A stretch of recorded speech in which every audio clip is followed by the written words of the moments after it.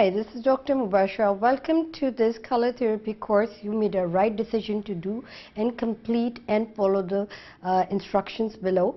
Uh, you have one month to complete the entire course. If you do not finish this course, you have to retake it again. It means paying all the charges and the examinations. I hope you will follow all the step-by-step -step procedures, which is very easy to do it. And I hope you will complete your manual in one month. Take care of yourself and wish you best of luck.